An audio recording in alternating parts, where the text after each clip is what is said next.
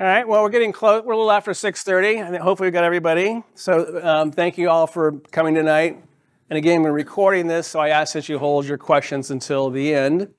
Um, I see some new faces. How many people are were not here last week? Well, we have quite a few. We may have to re-explain the double slit experiment. that's kind of critical to a lot of it. but as I said earlier, there's not going to be a test on this, so you don't have to worry. You won't be tested, and uh, I'll have a few more coming in. So it's not like college, you know, we actually have to, you know, you'll pass, Dale, don't worry. I, will give you a passing grade, Dale. All right, well, welcome back. In the, in the last lecture, we covered a lot. Um, get this thing to work now. Um, we talked about Universe 2.0, heaven. I introduced the concept that consciousness is non local. By that, I mean it's not contained just between our ears. We use near death experiences to highlight how our consciousness, our soul, leaves our body at death, an example of non local consciousness.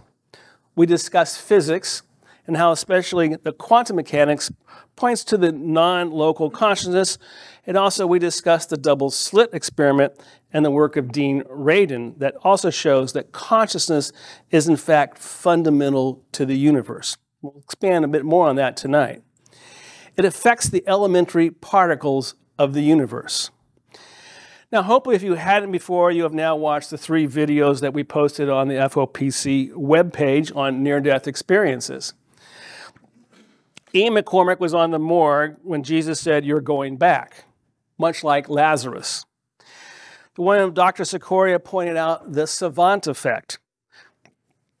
After his NDE, he began writing symphonies. This illustrates the point that our brain acts as a filter between us and God, what I call God's consciousness field.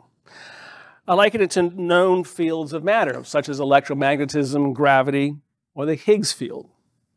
The third was on Dr. Eben Alexander. He wrote the book Proof of Heaven.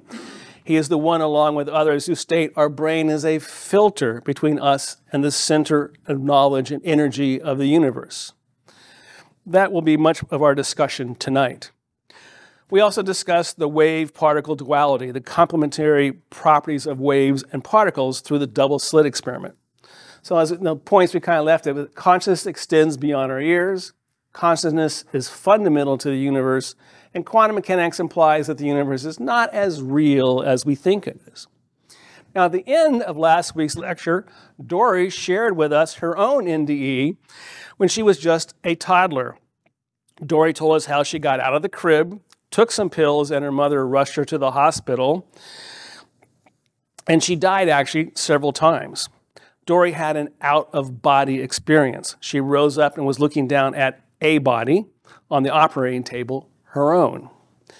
Now, it is rude of me to disclose the age of a lady. However, Dory, in this case, it was 87 years ago. And yet she recalls the events vividly. She wasn't even, what, two years old about that time?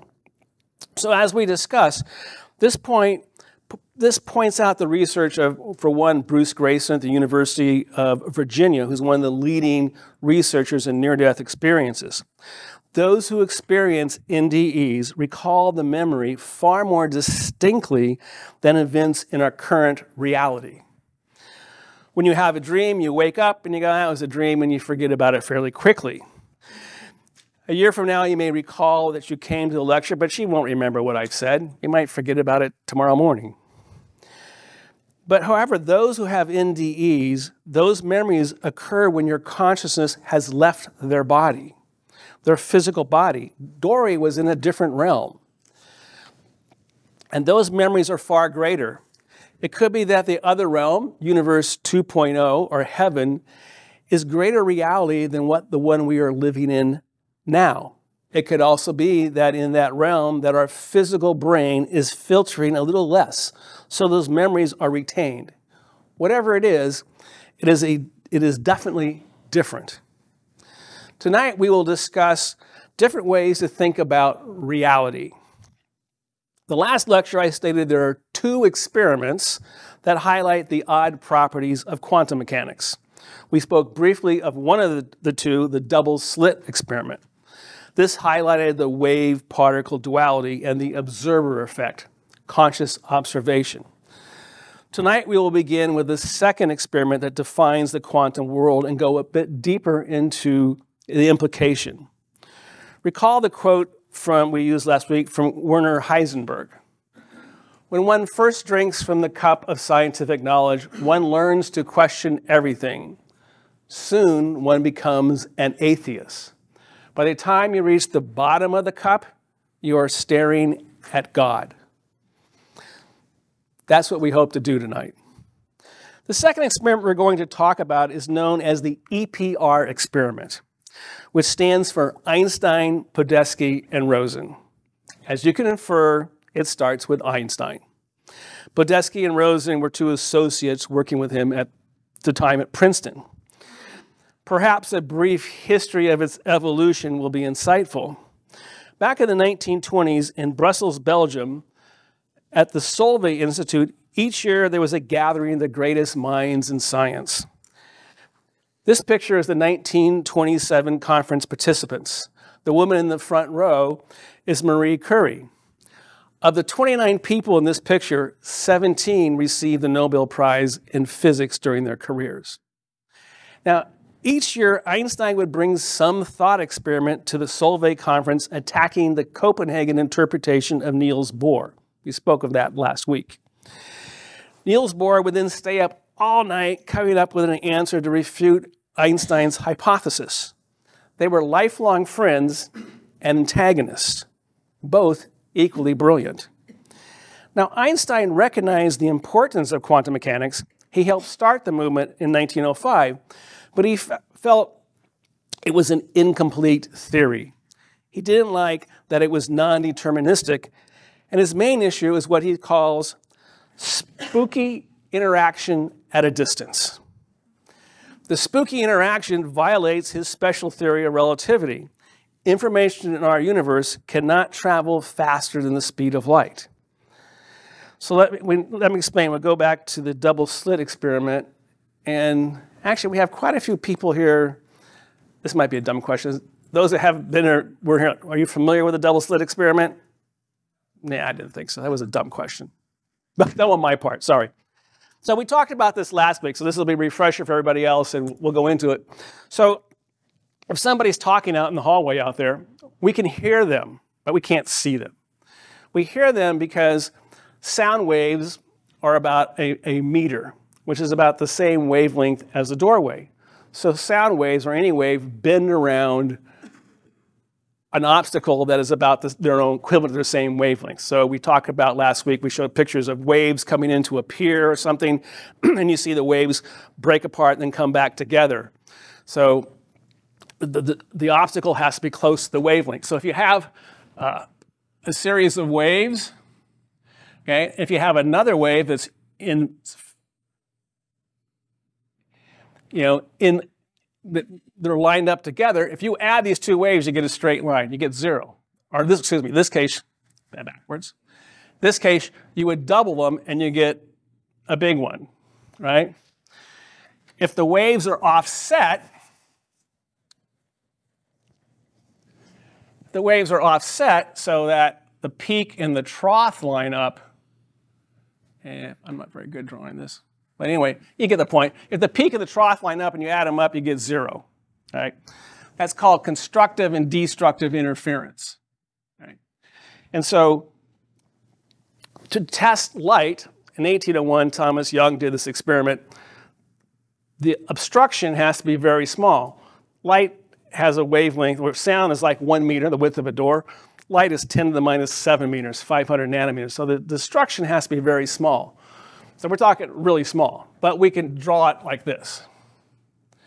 This is called the double slit experiment. You have two slits. And over here you have a uniform light source. So light comes out, you know, it goes out like this. But once the light goes through the slit, you have this diffraction pattern, right? But you have two of them. And wherever these waves intersect, you don't get anything. Where, where they over here, they actually double them height. So you, so you have this interference. If you took a screen here, and I'll draw the screen up here, now what you get is where they where the you get this a lot of you know activity where they've doubled and you get no activity where they've zeroed themselves out. That's called the double slit experiment. The odd part is if you observe this, it becomes a particle, right? And if you have your screen here, and we shoot one, and which you can do with modern technology, if you were to fire, rather than this light beam, one particle at a time. You're shooting one particle, a photon, electron, any atom. You shoot one at a time, it hits the screen, you get a dot, one dot. You hit it again, shoot another part, you get another dot. You got a particle, all right? You do this long enough, pretty soon you develop the exact same pattern as if you had a wave go through it. This is the wave-particle duality. So, you, again, how does an individual particle interfere with itself? What path did the particle take? Well, it actually could take an infinite number of paths. We just have two answers here. But so the particle acts like a wave unless you observe it. If you observe it, it is a particle. Even stranger yet, so you have you know, the, the light going back through here.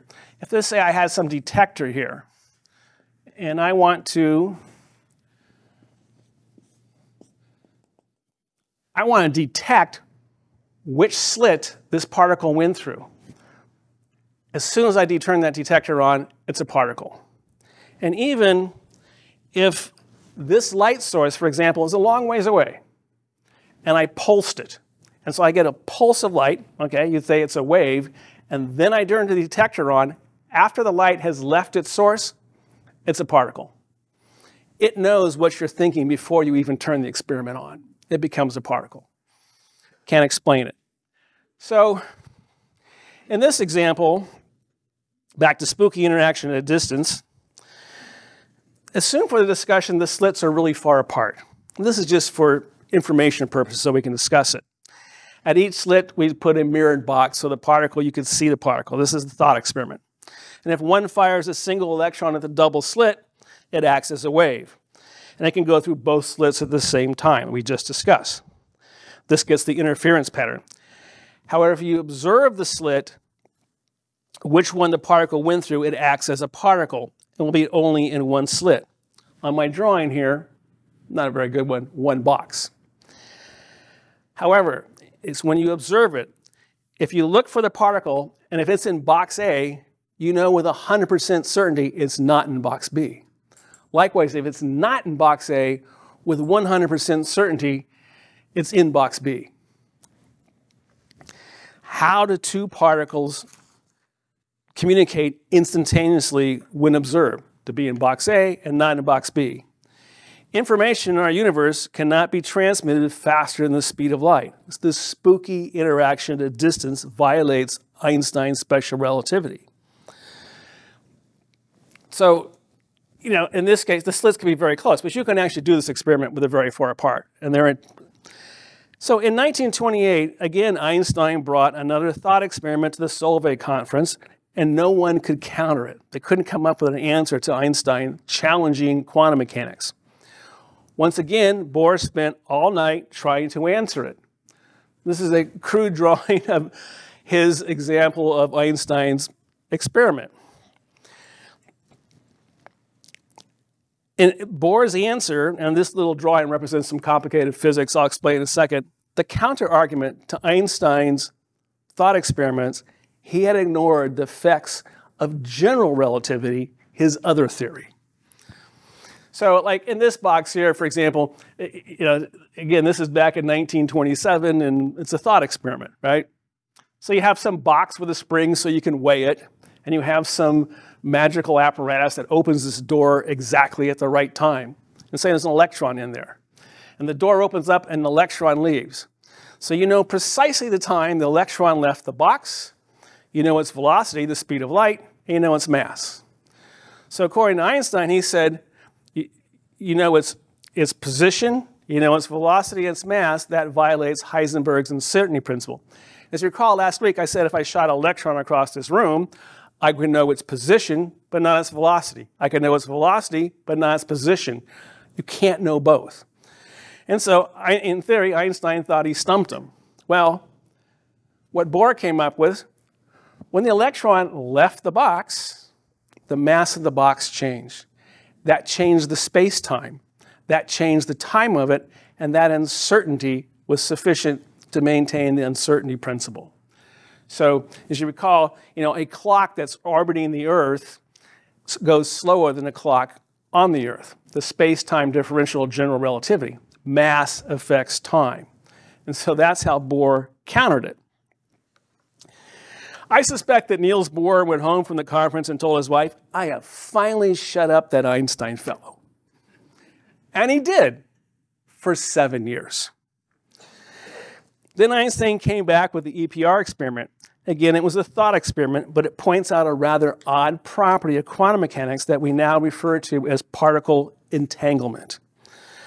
The quandary could not be solved until after 1965, 30 years later, when the Irish physicist John Bell came up with a mathematical solution, one of the greatest mathematical achievements of the 20th century. And he did get a Nobel Prize. How can you tell the diff- how can you tell if there's some unknown hidden particle, we don't even know what it is, that communicates instantaneously?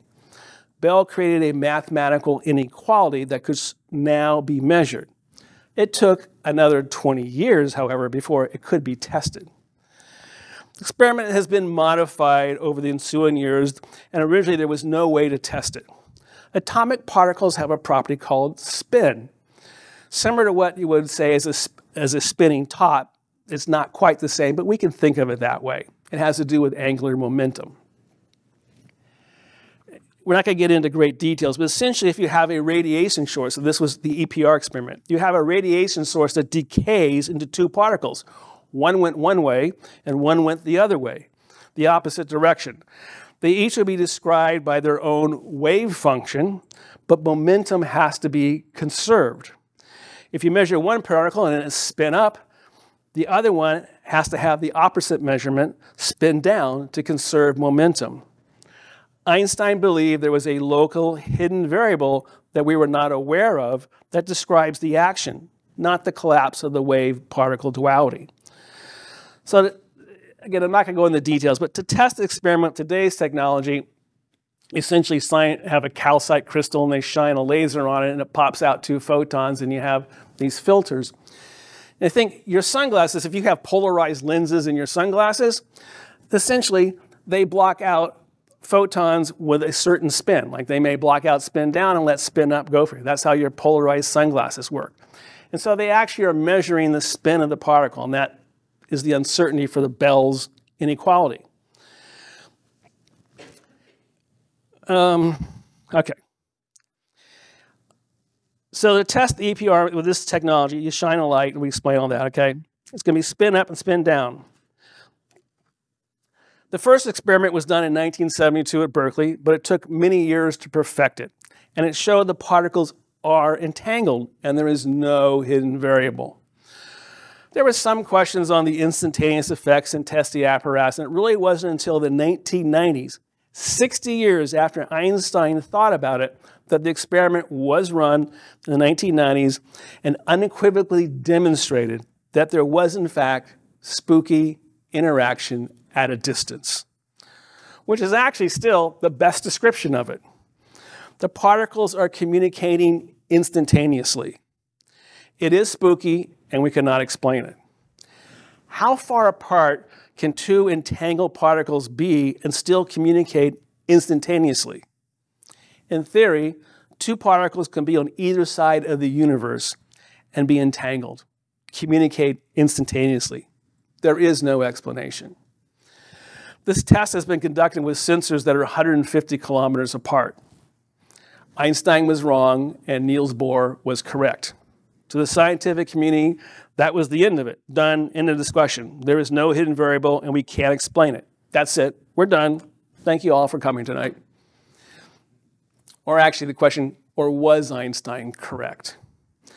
is there something totally different about our universe in reality that we are not aware of? Well, perhaps. We will continue our discussion by talking about a little known theoretical physicist whose theory totally stretches our understanding of reality and is actually now gaining some momentum. This was David Bohm, another brilliant but little understood physicist. Again, a little history is useful. Bohm was a brilliant and deep thinker at Princeton. He had many conversations with Einstein during, and during World War II, Oppenheimer, his mentor, wanted the brilliant young scientist on the Manhattan Project. The Army rejected him because while in Berkeley, he attended several Communist Party meetings in San Francisco. Some things just don't change. It's still Berkeley. All right. After the war, during the McCarthy hearings, they were trying to convict a member of the San Francisco Communist Party who did, in fact, transmit secret information to the Russians. The FBI could not use their evidence because they had obtained it illegally, or improperly, I should say.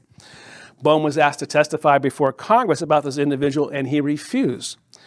He was convicted for not testifying before Congress, and later the Supreme Court threw it out.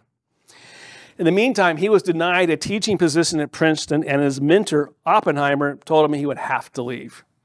Bohm accepted a position at the university in Brazil.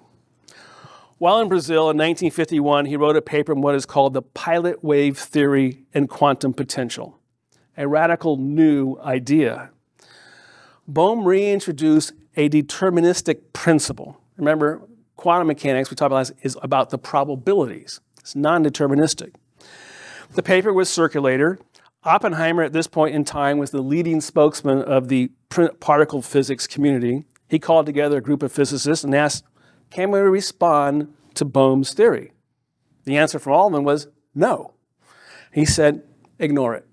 So no one wrote a paper about it, either proving it or challenging it. It was ignored and forgotten. It was really only recently emerged now as a topic of thought and study. Actually, it did inspire Bell. He actually was read it and was inspired by it. So Bell, who came up with the way to test the experiment, was, was actually inspired by Bohm's work. Bohm left Brazil and he went to the newly created state of Israel. He was Jewish, and he eventually took a position at a university in London. It was not until computers had advanced enough, I can't recall, I was in the late 70s, 80s, that his students and colleagues could actually do the complicated math of his pilot wave theory. You know, he developed it 25 years before. They needed powerful computers. When they ran his math, they found that it ex exactly predicted the quantum behavior of a particle. Was this just another mathematical representation that did the same thing as the Schrodinger equation? Was this the tip of the iceberg describing a totally new concept of our reality, of the universe? His pilot wave theory worked, it's just extremely complicated. Now, Bohm's physics, as we're going to move on with this, Bohm's physics now transcends, kind of transcends from physics to metaphysics. Metaphysics is an area of philosophy that deals with reality. So it's kind of physics, it's kind of metaphysics, more philosophy. Actually, Bohm's theory is really the only one that can explain particle entanglement. Another potential is time reversal. We won't go there because I don't believe it.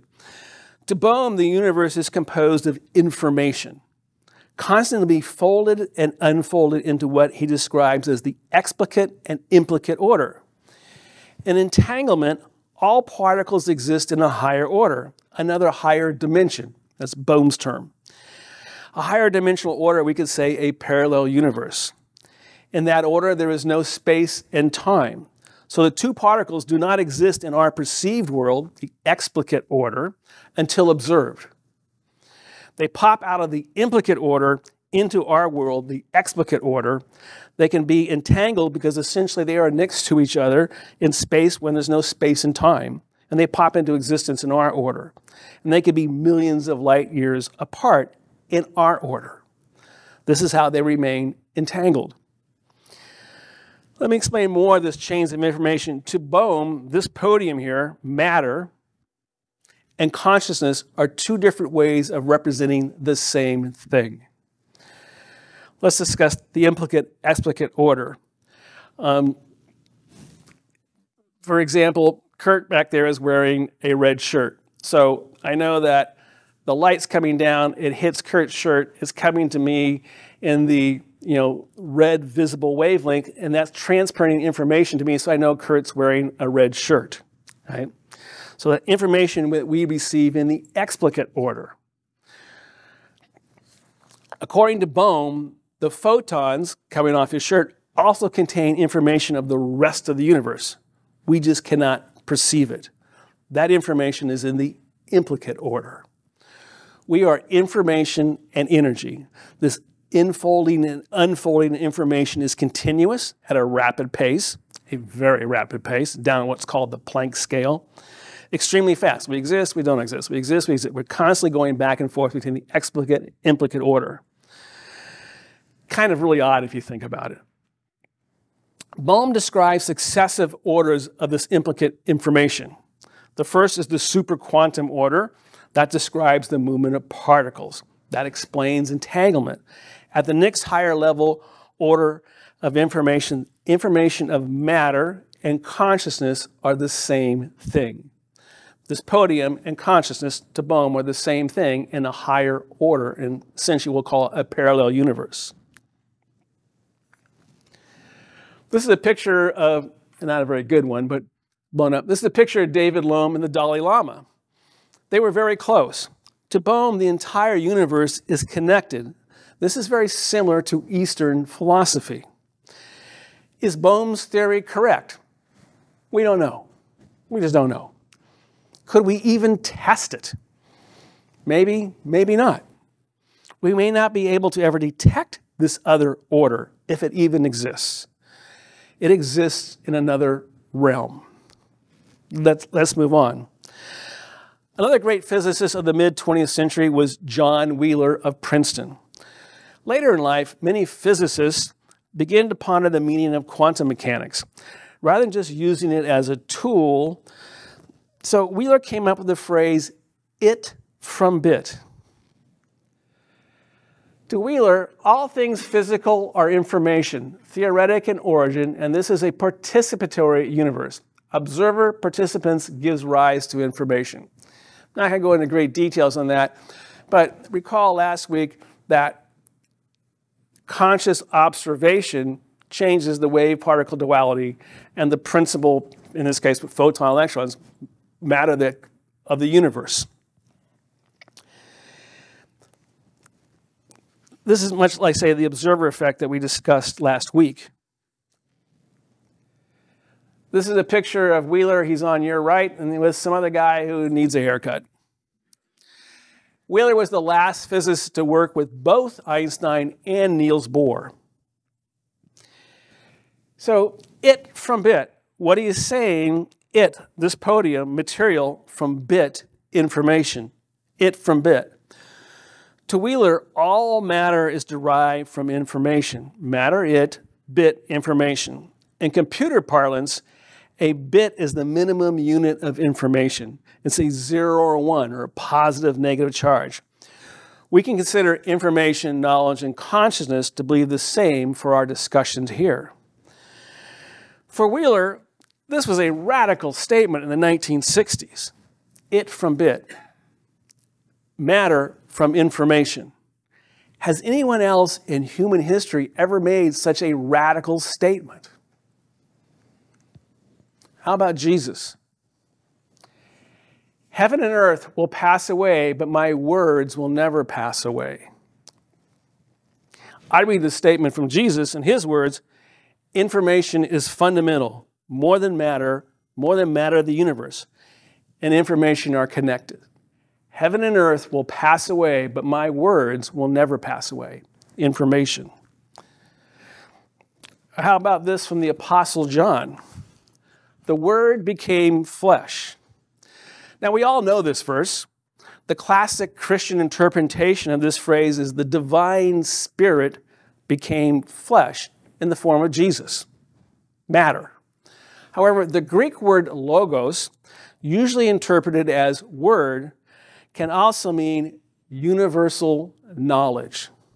So this phrase can also be interpreted as universal knowledge became matter, again in the form of Jesus. To Bohm, information is constantly folding and unfolding in the universe, also the basis of our material reality. Bohm's physics and the Dalai Lama philosophy were not that different. Consciousness underlies everything, and we are all connected within the universe. The increasing order of the entire universe, information and energy. The universe is essentially energy, more so than Einstein's formula E equals mc squared. When you step on the scale in the morning, 99% of what you measure is energy. We ourselves are essentially physically energy. 99% of the mass in the atoms that we are made of are actually in the quarks that make up the protons and neutrons. And that mass is actually from the gluon, which is actually a good name for it, which is the energy that holds the quarks together. Our resting mass is energy. Of course, Lynn asked the question, if I'm made up of energy, why do I feel don't feel energetic in the morning? You know, I think that's what coffee's for. So Wheeler's statement was radical in the 1960s, but less so today. In the last 25 years, an accepted theory of physics has evolved known as information theory or the cosmic hologram. It was conceived by Leonard Susskind at Stanford and Juan Maldacena of Argentina and de Hooft from uh, who's Dutch physicist. They came up with this theory to counter Stephen Hawking when he said that information is lost in a black hole. Now there's agreement that information in the universe is conserved and it's believed it exists in this mathematical boundary, for lack of a better description, of the universe. No longer such a radical statement. They are not yet stating that matter is created from information. They're not teaching that in physics classes yet. But there is an information realm that all matter is replicated in. Again, the best way to describe it. Wheeler's statement for a physicist is now less radical.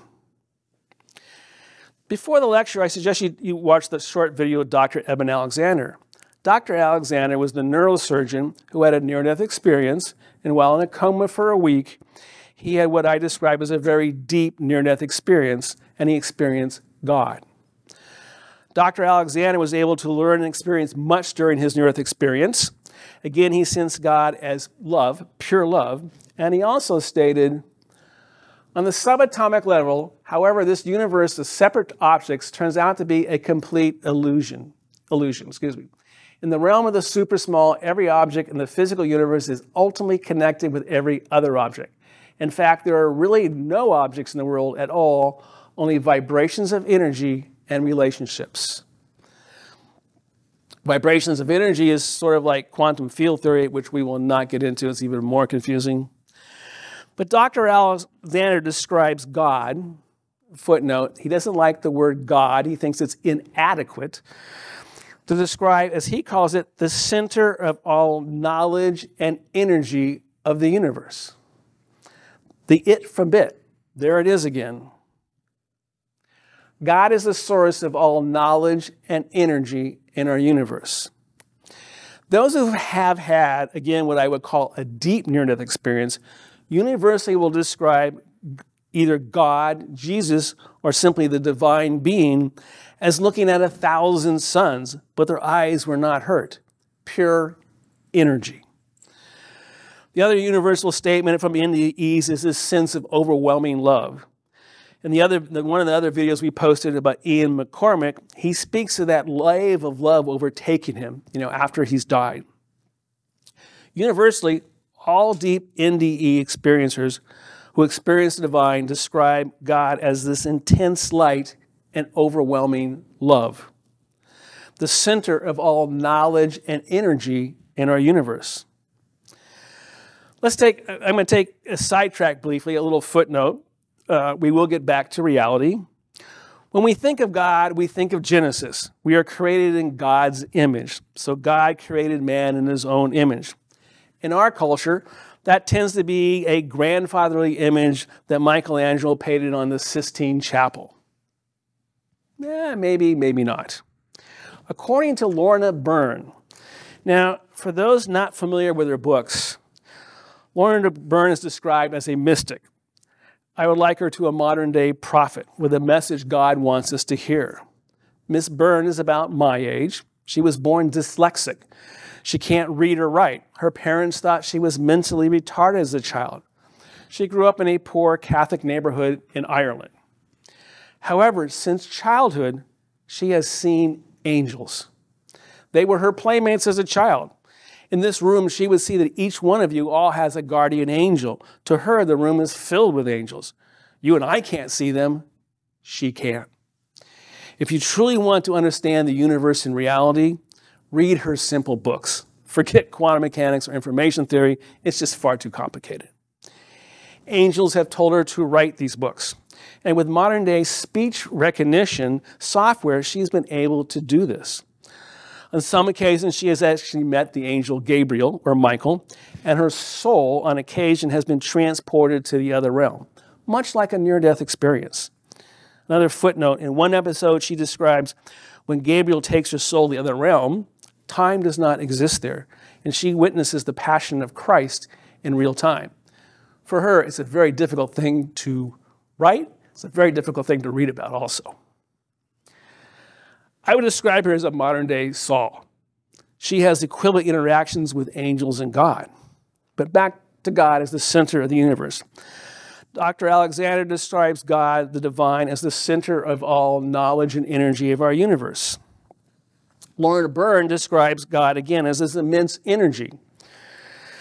She says that God takes a small piece of his energy and this becomes the soul of each of us. That is when we are born, we have a small amount of God, His energy within us, our soul. She actually sees energy coming out of matter. We are created in God's image. His energy resides in us. It's our soul. We are connected to God, not like Michelangelo's image, but through his energy. Let's look at this biblically for real quickly. In Exodus when God appears to Moses. There the angel of the Lord appeared to him in flames of fire from within a bush. Energy. When he was guiding the Israelites through the desert, to guide them on their way by night in a pillar of fire to give them light. Energy. From what appeared to be his waist down, this is from Ezekiel, he was like fire, and from there up his appearance was as bright as glowing metal. Energy in John, in him was life, and that life was the light of men, or the world in this case. Energy.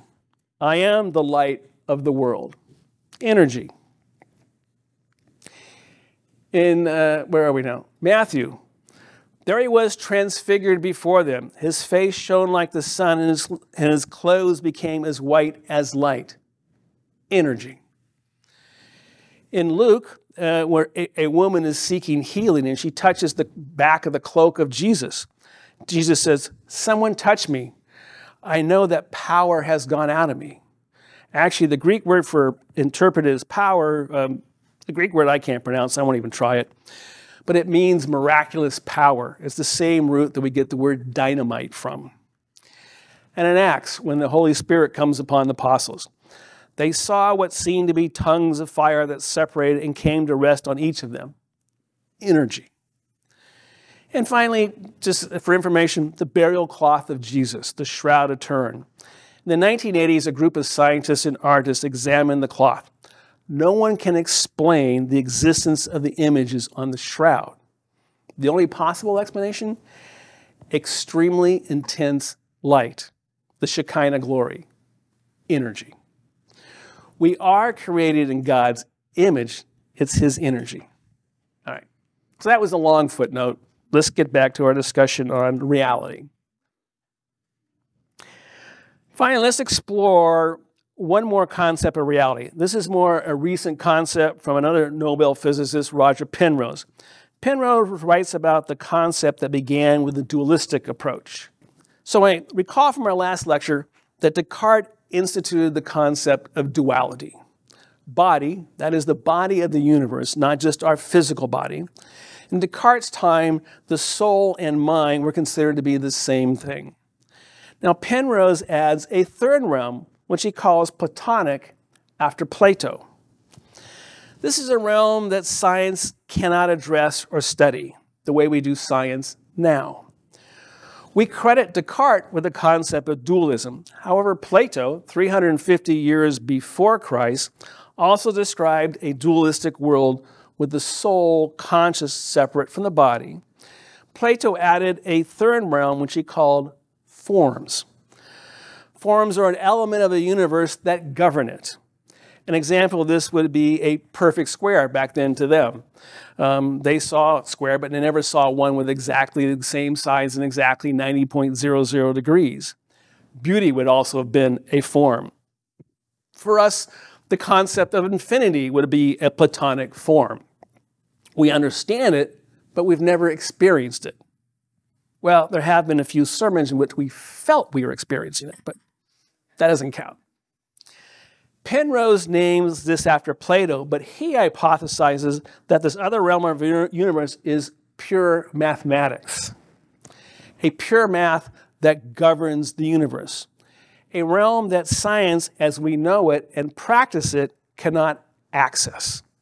In his most recent book, Penrose describes consciousness in a similar vein. We cannot describe it or access it through science, but he feels if we conduct science differently, perhaps we can for, the, for both the realm, other realm, and consciousness. Some philosophers, which I would agree with, state that math is just a form of language we humans have created to describe the universe. It's just, it's just another language. Right? So, so in Penrose's hypothesis here, rather than dualism, we have trilateralism the body, the physical universe, the mind, consciousness, or I would say soul, and the pure mathematical realm that governs it all. I kind of like this trilateral approach, but it can be viewed differently, at least my way of viewing reality. In this drawing, the form that governs the universe is God. So you'll notice that I graphically have expanded God's circle and his realm to now encapsulate the entire universe the physical and the spiritual. We have a body, the universe. We have our mind, our soul, and God. It connects everything. Now all realms are interconnected by what I referred to in my last lecture as God's consciousness field. This covers everything. The body of the universe is what's right here. The body of the universe is what science is limited to studying in the laboratory consciousness or soul and God go beyond the laboratory into human experience. Scientists don't like the concept of non local consciousness, nor the fact that consciousness can affect matter. When we discuss these, we actually leave the realm of what can be tested in a laboratory, the limits of science. So this, you know, you know, in your laboratory, science basically can test what we perceive in our universe. That's the limit of what they can do. Consciousness and God now go beyond that. Once we get out of the physical limits of the laboratory, we're now in the realm of theology and philosophy. Scientists don't like that. We're not, we are not going to gain a greater understanding of reality by building a bigger, more powerful particle accelerator. It will come from human experience. We will gain knowledge from near death experiences, mystics, or mediums. As we discussed last week, near death experiences are our telescopes into this other realm. People come back and they tell us about that other realm. They, we should study them because they, again, are our telescopes into that realm, a realm we can't deal with in a laboratory. One way to express this is actually similar to the Hindu concept of Brahma. Brahma encapsulates the entire universe, every living and physical thing. Everything is connected. Our God reaches everything. God is the center of all knowledge and energy of the universe. In our Christian sense, we have the physical body, we have our consciousness, our soul, and we have God. So we can think of this as Father, Son, Holy Ghost. To John Wheeler, reality is knowledge. The universe is information. It's composed of energy. The Dalai Lama and many other scientists, consciousness underlies the universe. We are all connected. Now we can understand that. God is the center of all knowledge and energy of the universe. God is both the creator and curator of the universe. When we sing the song, We Have an Awesome God, we really do have an awesome God. Now, hopefully, these lectures have given you some appreciation how awesome our God really is the creator and curator of the universe and us. Thank you.